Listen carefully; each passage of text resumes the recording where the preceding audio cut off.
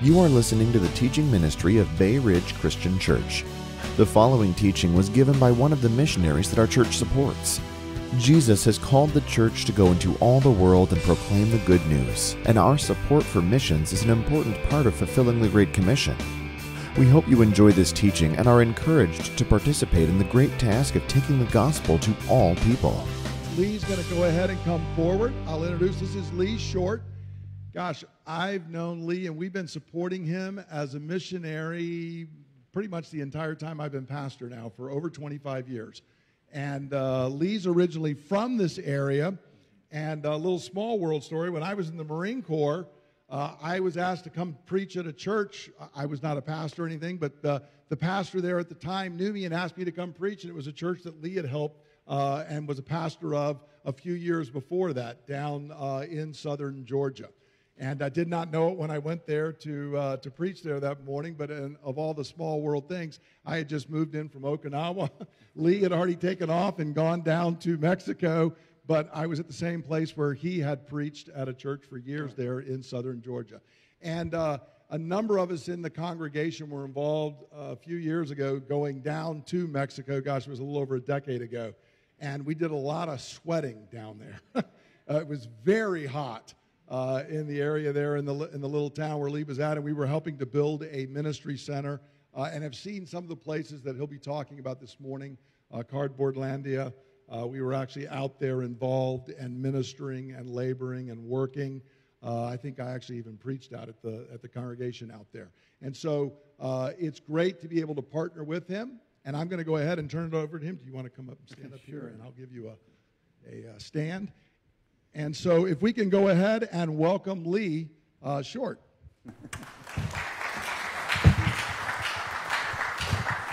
Thank you, thank you. Are you turned on? Uh, yeah, I'm turned. On. I'm always on. But I always tell, tell my wife I need to calm down and focus. and it's so good just to be back and to hear history. Uh, that church Brett was talking about, I, I started that church back in 85 and and then, uh, but anyway, but my my roots come back to here before it was a church. Uh, meeting with the Parlettes back in '74, and I, I, remember when Brett was a cadet, wearing his white uniform, and and all the years, your faithfulness. Uh, your commitment to the mission of the Lord Jesus Christ, uh, it's phenomenal. And I'm so thankful to be here. Um, one day, Jesus was standing at the lake of uh, Gennesaret, and the crowds were pushing on him, and he was teaching them the Word of God. He got out, he saw two fishing boats, and he went over to one, uh, that, which was Simon's, and he got in the boat, and he told them, uh, to push them off the shore. Simon and his uh, brother were uh, cleaning out the net. And, and then he got in one of the boats, pushed offshore. When he had finished speaking, he said to Simon, Put down your nets in the deep. And he said, Lord, we labored all night long and we didn't catch a thing. But because you're asking me, I will do it. And so they went out and, and into the deep, and they caught so many fish that it was breaking their nets. And they called their partners to come out, and they brought another boat, and they filled the boat with fish to the point that the boats began to shrink.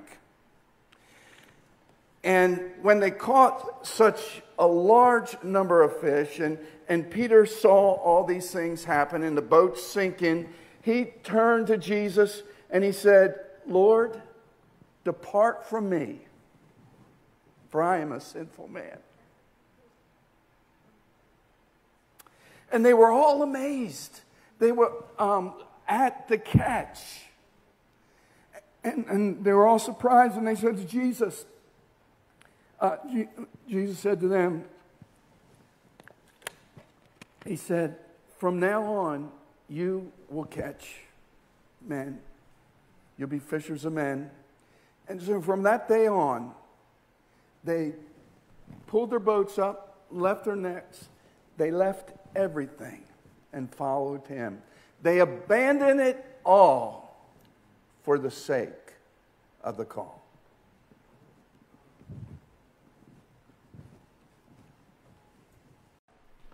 They had the same name, but this pastor, I worked with him when he was a young man 30 years ago.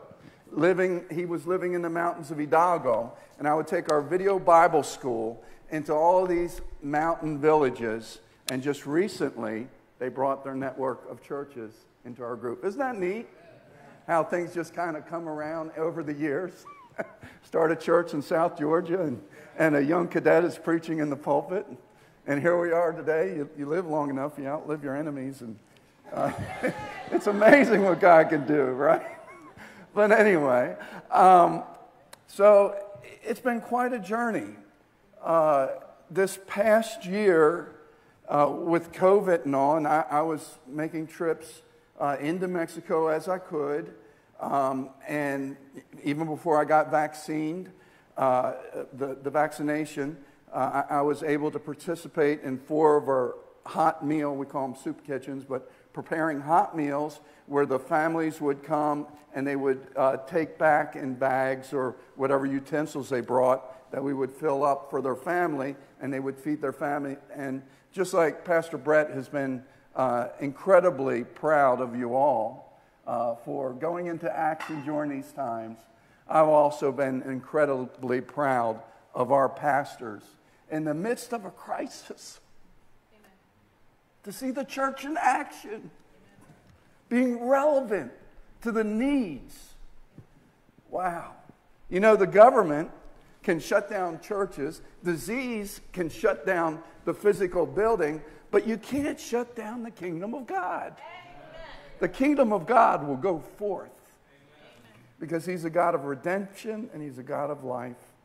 And so, you know, I'd be down there and they'd shut down both states, Nayarit and Jalisco, and uh, uh, shut down everything stores, restaurants, everything. And so there's nothing for me to do down there except catch COVID, so I'd come back home. and uh, uh, our pastors uh, have, have, taken resources, some of them we have sent, others uh, have been able to uh, get a hold certain food and uh, donations and different things, and just working, working, working, meeting needs and helping people in their time of, uh, of desperation. Um, remember the story I was sharing with you? There was two boats and two fishermen, and they were cleaning the net. I, I, I want to share with you uh, a, a, few things that have happened to me. I'm kind of an intuitive person. I, I drive left brain people crazy that are methodical. I, I, mean, you know, they just about have a nervous breakdown around me uh, because I'm intuitive and I'm kind of all over the place. And, and, and, you know, God works, you know, He made us, you know, it's His fault. uh, but uh, He made us and He deals with us according to our nature many times. And I, have lived a really crazy life, a very simple life. Uh, I don't have a five year plan, 10 year plan. Uh, you know what? My plan is to hear the Father and do what He says. And um, one day, we were being called back to Mexico. Uh, we, were, we served there from 88 to 94, raised our children there, and we were kicked out of the country due to religious persecution from the powers to be. We were given a short time to leave the country. And I came back, heartbroken, defeated, built huge facilities for uh, video, for printing, and um, for our video Bible school. And, and, and God took us out of there, and He still did the work but it was a very different way. And, and years later, uh, a, a, pastor that I met in 87 over in Seaford, Delaware, who uh, continued to support us through the years, went up to Chicago. He asked me if I would go to Mexico and uh, start a base in, in Puerto Vallarta area. And I said, No, Randy, I live in Houston, Texas, and I minister all around the world. Uh, at that time, 17 countries. Uh, and, and the Holy Spirit said, Lee, wrong answer. See, back before we left in 1993, we took a truckload, a, a 15 passenger van, emptied out the seats, filled it with Gideon Bibles, took it to this developing resort of Puerto Vallarta. And I only spent one night there, and the Lord spoke to me specifically and said, One day your ministry will have a base in this place. Well, when Randy was asking us to go, and I told him no, our first six years, we had a really hard time. I was up against cartel, mafia figures uh, who had a class action lawsuit uh, against us. Uh, 70 of our neighbors taking the land. You know, people were dying and all this thing. And, and, you know, a story I physically died, went into heaven, I was dead five minutes. My wife called me back, was mad at her for a year. Um, had all kinds of things happen. And so when he asked me to go, and I told him no, and the Holy Spirit said, Lee, go back. Now you can imagine what my wife said, thought, when I said, Carol, God wants us to go back to Mexico. And I could go into details of the crisis. Don't have time for it. Her response she said, I will pack everything and put them in boxes. And we returned to Mexico in 2006 to live. Getting there, I'm starting to travel around trying to shake the bushes and get some more support as our support died down. And, and I stopped in Pensacola where I went to school, Bible school, and one of the missionaries who now a pastor at that, at that time left the mission field to the pastor, he's prophesying over me. And, and he's saying all the things he already knew about me. But God was giving me a vision. And I felt like saying, please, brother, please be quiet. You know, God's speaking. God is a God of revelation. The, the Word of God is alive. And, and he was speaking to me, and what I saw was a, a fishing boat, the bow of a fishing boat from the time of Christ in a fog with the, the, the nets and uh, uh, uh, going into the fog and then disappearing. And this vision repeated over a dozen times. And then the last frame, the fog and the bow coming out and the, the nets and disappeared. And the last frame was this. I thought I saw the same fishing boat, but it was a fleet of fishing boats. I saw it from the side. And God promised me if I would go back to Mexico, I would see an impact across the nation.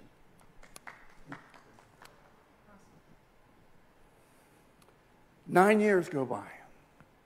My supporters are happy for the work that we were doing in, in the, um, uh, uh, the garbage, what we call it, the dump, the, uh, uh you know, where they brought all the garbage and, and all that stuff. And, and they were pleased with the work that we were doing to help these poor children that didn't even have a bathroom, a place to go. They weren't even Mexican they, were, they didn't have rights in Mexico, though they're Mexicans, because they didn't have a birth certificate. We helped them get birth certificate.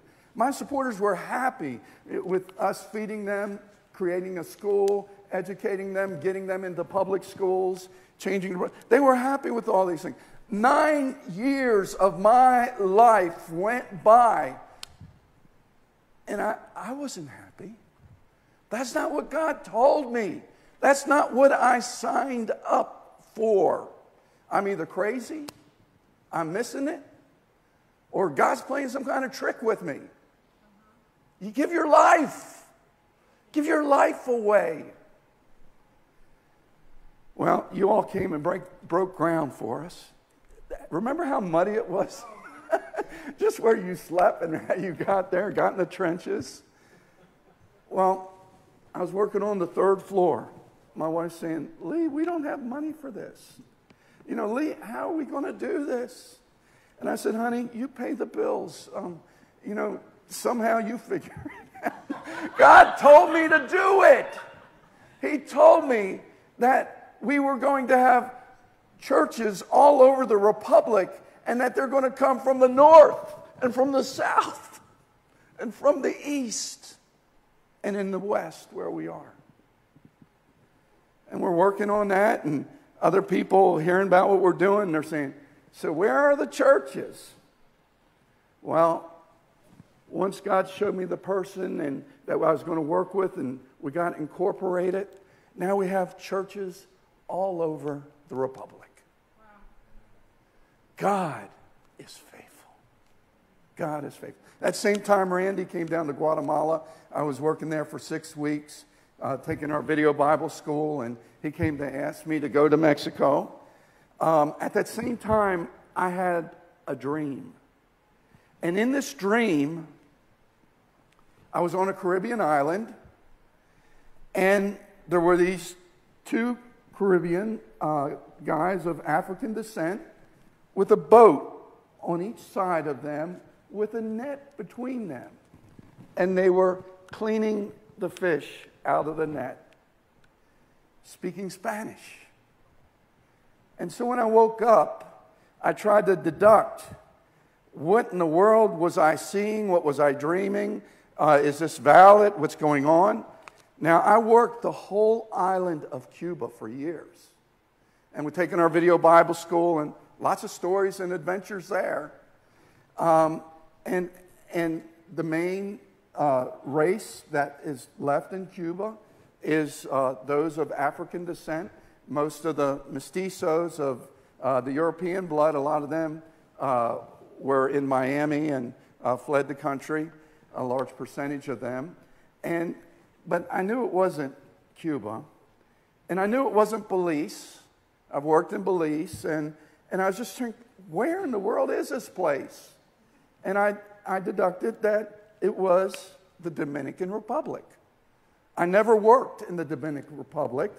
And because I was working internationally and I have friends that work internationally, um, the next week I could have been in the capital city preaching, but I didn't.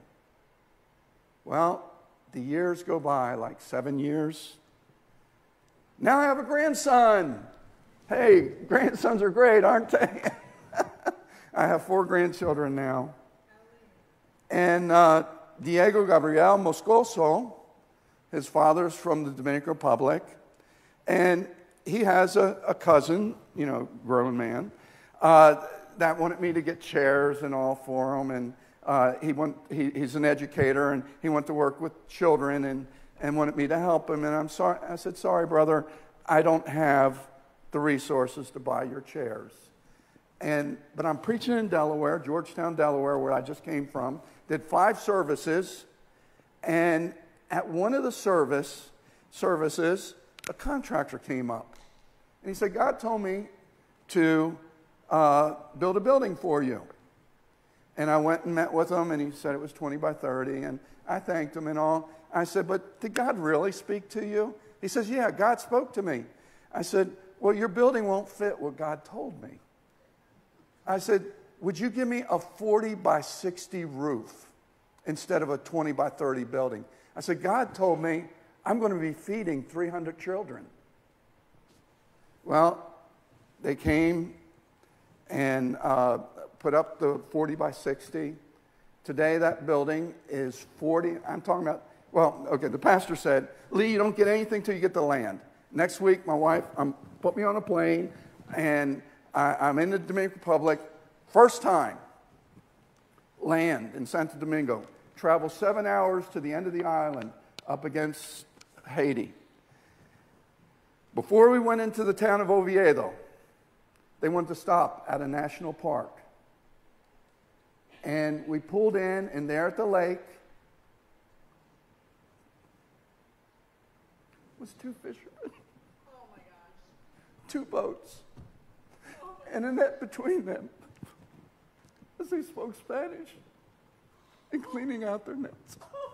And I just went to double my knees and weep. Isn't God good?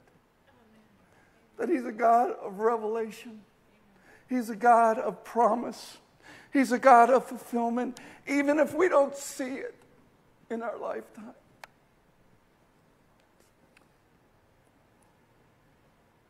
The first day, I meet the governor of the province.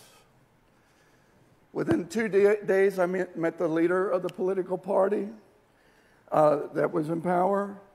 I, I, um, I, I, met the head of the Senate, uh, a congressman, and some of these are family members, uh, two municipal presidents, uh, which uh, a municipality is, is, is sort of like a county where, where they have jurisdiction over other towns, old Roman system, and five city councilmen. The second day I was there, I had a promissory note from the, the local mayor giving us the best piece of property for free on Main Street and the name of the Providence, right in the middle, at the end of the developed part of the town and into the new area. The highest piece of property that was reserved for the fire department was the property that we got. Wow. Isn't God good? Isn't God good? You know, it's not about us. It's not about you. It's not about me.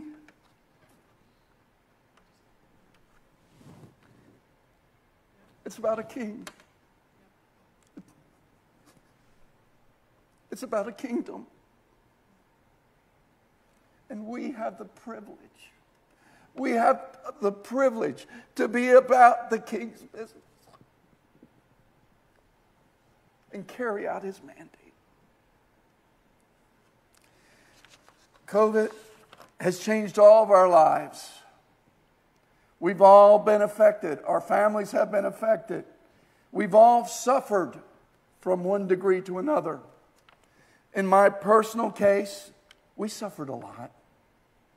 My son, who was 42 years old, came down with sarcoma cancer. My wife called me out of Mexico, said our son has turned for the worse, and he needed attention day and night. And so the last weeks of his life, um, I cared for him night and day. And and was with them to the point that he went into heaven. And you know, an adult child, the years go by, I'm working, he's working. Uh, it was such a privilege just to serve my son again. He suffered a terrible death. The day that he was being wheeled into hospice, the hospital staff was crowded in his room. There was the two doctors that were attending him at MD Anderson, and the hospital staff, the administrator, uh, the social worker, the chaplain. And my son was telling them, the bed's outside. He said, God has been so good to me. He said, I have lived such a great life. And now I'm on to the greatest adventure of my life, where the arm of God is reaching down and going to take me home. At that time, Chucky Trill came in, dreadlocks down to his waist. Anybody heard about Chucky Trill? Uh, he recently uh, was murdered in Atlanta.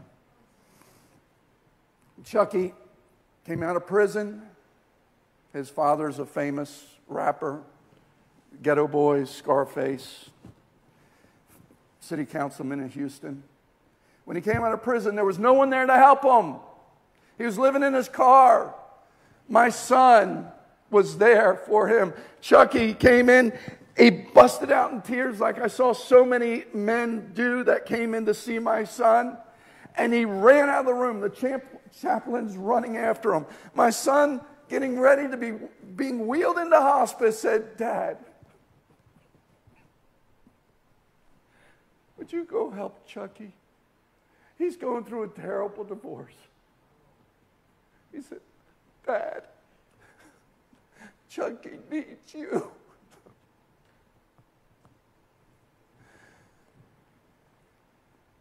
My son died March 16th, 2020. We couldn't have his funeral until July 11th for the military graveyard to be open there in Houston. Uh, he was a Marine and, and served in the Army.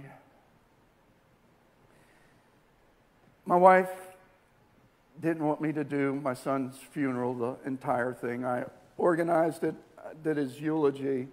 She didn't want me to do the message. I honored that.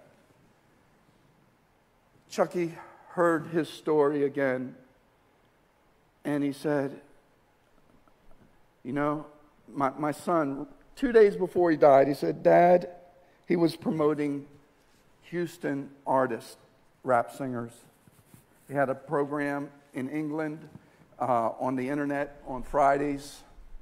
And he said, Dad, you know why I stopped promoting hip hop, getting artists into local clubs? And I said, No, son. He said, Because you challenged me about the fruit of my life. What am I giving my life to, my life force, my energies? And you challenged me to, to do good with my life. And because of that, I stopped promoting that hip hop because there was nothing godly in it. Two days before he died. Touched so many lives. He loved people like me. But we had other tragedies. My oldest daughter, her house burnt down. Her husband broke his leg, a terrible uh, fracture, and uh, just one tragedy on top of another. But I want to tell you something. In the midst of it all, we all go through life. But there is something more important than life itself.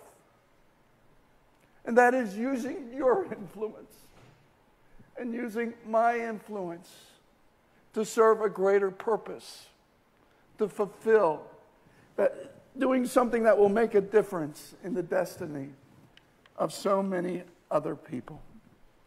Something much greater than our personal tragedy and story. There's a good God who's working in the midst of all things for his glory. I want to share with you from one of my newsletters, and I have newsletters out there. We love to send our newsletters, it gives testimony and insight into the ongoing ministry. It's a way that we can communicate. And, you know, if you don't get our newsletter, I, um, inside there's an envelope and everything, and, and we can continue to have ongoing uh, input and communication. But here, as COVID is breaking out once again, I'm so pleased with how hard our, our people are working. On the Dominican Republic, we are sending monthly aid to Haiti and the Dominican Republic. Right now, it's difficult. Heavy artillery is on the border uh, between Haiti and the Dominican Republic because uh, the Dominican doesn't want to be overrun with all the Haitians fleeing the country. But I want to tell you about Manuelcito. Him and his father, his aged father, uh, elderly father, live in just a little tiny shack, like a rundown garden shack that you may have in your yard. They have no furnishing, which is very typical of the people who live in these little shacks.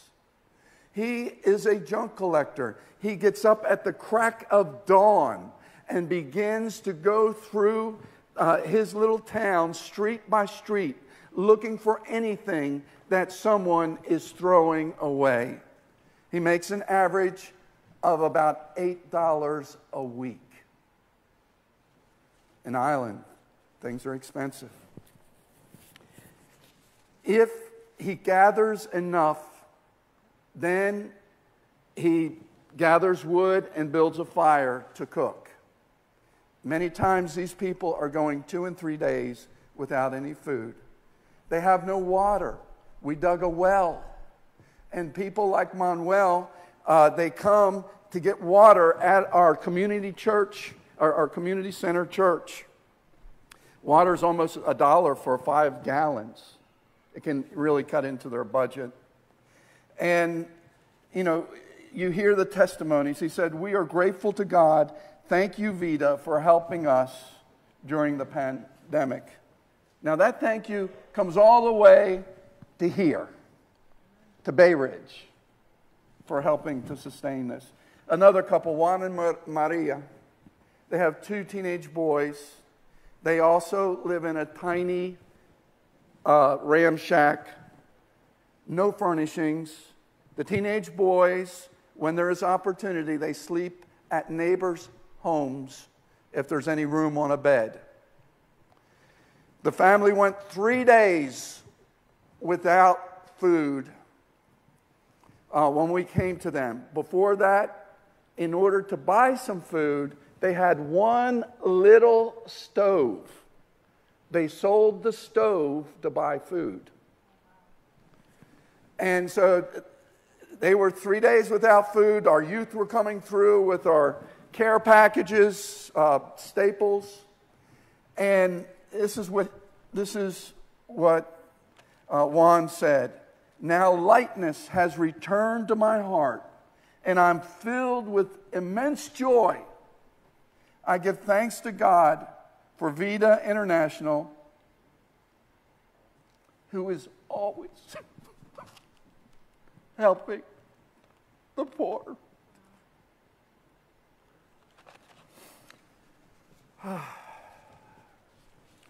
It doesn't get any better. I have another story to tell you. I want to tell you about three little orphans. Wilmarie age eight, Jency, age five, and Elmarie, age two. They live with their grandmother in atrocious conditions.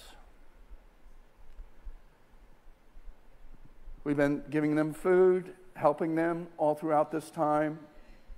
Their, their father passed away, a young man. And then after that, a few months later, their mother passed away. Now remember, Wilmarie's eight years old. Her mother, 22 years old, five months pregnant, died of malnourishment.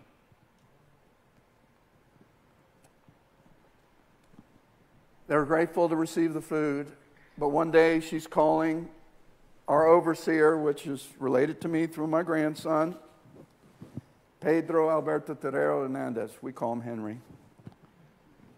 And he's cry- she's crying, and she asked the local director there of the, that center if they would call Pastor Pedro. And this little eight year old girl is crying and crying. She goes, Pastor Pedro. She says, We sleep on the wet ground with my dog and his fleas and ticks cover me all night long, and I am in torment. Please get me a bed. Well, Pastor Pedro got a frame, um, uh, you know, a, a bed box, get it off the ground, and mattress and a fan to keep the mosquitoes off. We can't imagine how this world is hurting. But we can take and get and meet, help meet basic needs, show the love of Christ, and help Him, our Lord, to expand His kingdom. In Haiti, now that's the Dominican Republic. If you look on Google Maps and you look at the Dominican Republic, you see a green nation. You go across the Haiti border and you look at Haiti and it's barren. They're suffering. I look at, we have a, a church over on a border town, Anse-Apitre. We have 50 adults and 150 children. The, the bamboo hut is used for a school. We don't, we don't pay teacher salaries. I don't run the school. Um, but it's multi use, and, and you could visibly see our children getting weaker as supplies are cut off and during this COVID time.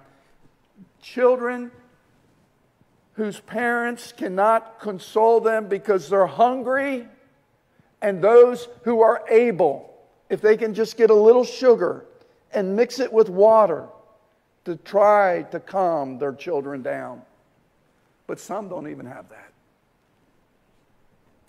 One night, I'm having a dream, and there's a little Haitian girl. And she's so kind and so sweet. And she's saying, Pastor, I'm hungry. Oh, my, my email, get a letter from Henry and Lee. We've run out. The children are hungry. Right now, the heavy artillery is on the border. And it's even harder, but we're still somehow, I don't ask a lot of questions, but we're still been get, able to uh, provide food aid and feed the hungry. Like I said before, the methods, the strategy, that changes. How we do church, it's different in all different types of places. But the mission never changes. It's all about not getting lost people saved, it's about making disciples to know the teachings that will transform lives by the Spirit of God, the living church. The thing, the thing I want to end with today is this don't waste your life. Don't waste your life in pursuits that leave out Christ and his kingdom. But rather, develop that relationship with your Heavenly Father so that you could hear His voice. And no matter how you're wired, thank God you're not wired the way I am, most people. But however you're wired, whatever your spiritual gifts are, whatever your heart of passion is, whatever is your abilities or your personality or your life experiences, don't let it go to waste. Use your strength, use your heart, use your passion to further Christ and his kingdom. And in our frailty and in our humanity, we are sinners saved by God's grace, redeemed for the redemption of the world. The life is not about you, and life is not about me. It's about the redemption of mankind. And thank God for the honor and the privilege that you and I have to participate for such a grand cause as that. Amen.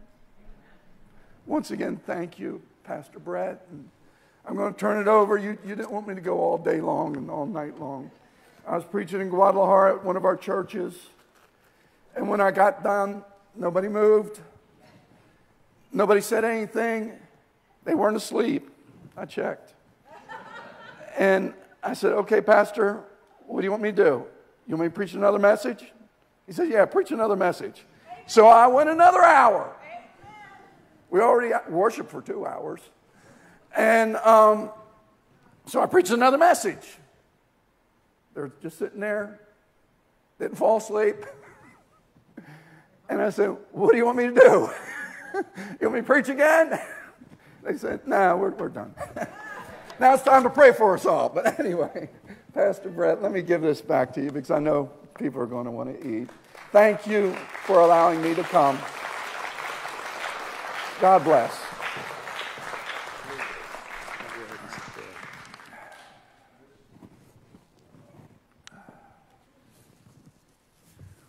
Um, our missions team is going to uh, come up now. And for those who don't know, again, if you're a little bit uh, newer here at the congregation, where's David? Oh, there he is. Uh, I didn't. Sorry, you were hiding. Uh, David and Melissa and Jason and Lisa and Tanya all help oversee the missions work here at our congregation, and so uh, they're going to go ahead and pray for Lee. The, the folks been around for a long time now. We used to bring the whole congregation forward. It's a little bit unwieldy to do that now. But uh, we're going to pray, and we want to encourage you to uh, join in in prayer. And I want to remind you just of two things. Again, uh, number one, prayer is so important. We are engaged in God's worldwide mission each and every day. I, we, we encourage here, you know, this whole month we're focusing on what's going on, all the things that we were uh, just hearing about from Lee. I want to encourage you every day you can engage in mission by joining in prayer. God hears, and it's not restricted to our lives. I think one of the reasons a lot of Christians struggle with prayer is our prayers are so self focused. That gets very boring very quick. But if you open your eyes, there is a worldwide mission going on. So, number one, pray. Also, want to remind you that you can give. Uh, again, you can do it online. You can give out here. Everything is going on to give into these very things that Lee's talking about. I, I want to remind you, you know, there's a lot of stuff going on. Look, there's a lot of things that our country is struggling through and we're walking through. But, folks, you hit the jackpot when you were born here. If you've ever been around the world, we hit the jackpot because there is poverty and, and disease and struggle, and in many places, lack of access to the gospel. And we have the privilege of sowing into that. So I want to encourage you let's engage in the mission not only by our prayers but also by our gifts. Father, as a congregation, we come to you and we pray for a outpouring of your Holy Spirit. Lord God, we pray first off for an outpouring of your Holy Spirit across these lands and places where Lee is working. Lord, we, we heard today about both spiritual and physical poverty. And Father, the two so often go together. Uh, Jesus, you said that you were anointed with the Spirit of the Lord to proclaim good news to the poor. And Lord, you told us that that was both physically poor and the poor in spirit. Father, they have gone together. And so we pray, Lord God, that your spirit would come and you would break poverty in these places, oh God. Father, both the poverty of hearing the word of the Lord and a poverty, oh God, of just financial and physical resources, Lord. We pray that your Holy Spirit would transform, that your Spirit would change these very places. Father, I thank you for places where it has been seen, Lord, that as the gospel broke in, there were changes not only in the lives of people spiritually, but also physically. We pray that would be true across Mexico, across the Dominican Republic, Lord, that it would break through into Haiti. Father, the thief comes to steal and kill and destroy. But Jesus, you came that we would have life, abundant life. So, Father, we pray for the outpouring of your Holy Spirit in these places. Lord, we pray for the outpouring of the Spirit upon Lee and the other leaders in these various churches and ministries, Lord God. Father, we pray that you would prosper them, that you would multiply them, that you would use their labors to see many people drawn into the kingdom. Lord God, I pray that there would be even more needs for congregations to be raised up as more people were turning to you. Uh, Lord, we read in the scripture again that the poor received you gladly. I pray, Father, that this very day, as uh, churches are gathering and meeting, Lord, down there, I think of the of the dump there in Puerto Vallarta, Lord. It was crushing, grinding poverty but there were people who had found true life. Father, I pray that your spirit would reach out, that you would draw more in, that you would give them hope and a, a future, Lord God. You promised good things, Father, even to the exiles, Lord, who had lost everything. you said that you had a, prom, uh, a promise for them and you had a plan for them, and that plan was shalom. So, Father, we pray that that would break through. Lord, that as Lee and Carol and the others minister, Lord God, that you would be pleased to spread that shalom. And Father, I pray as well for the future. Lord, as Lee mentioned, that the, the young man he had worked with years ago, Lord, has now uh, seen these other churches raised up and has become part of it. Father, we pray into the future. Jesus, should you tarry, long after Lee and Carol are standing face to face with you, long after those of us in this room are face to face with you, we pray that the work of Vida International would continue, that it would go on, that it would prosper, that the gospel would continue to go forth, that more and more people would be drawn into the kingdom, would be discipled, would be sent out on mission to share the good news of the kingdom of God. Father, we are grateful to be able to be part of this. Lord, we pray that you would hear our prayers, that you would take the gifts, that you would multiply them, Lord, that others might know you, that they would come in and worship, give you the worship and praise and honor that you are due. We ask in Jesus' name. Amen. Amen. Let's stand together. I'm going to conclude with a word of benediction out of one of my favorite Psalms. This is Psalm 67. And I encourage you to receive the, uh, the blessing of God. And again, notice the psalm begins with the words of the famous benediction that God said Aaron was to speak over the people. But I want you to notice the purpose and the reason, and you'll understand this is why we are blessed to be a blessing. Brothers and sisters, may God be gracious to us and make his face shine upon us so that his name would be known on earth, his salvation among all nations. May the peoples praise you, God. May all the peoples praise you. May the nations be glad and sing for joy because you rule the people with equity and guide the nations of the earth. May the peoples praise you, God. May all the peoples praise you. Brothers and sisters, you are blessed. Go forth and be a blessing. In the name of Jesus, amen. For more teachings and resources, or to learn more about the missions work that Bay Ridge supports, please go to www.brcc.church.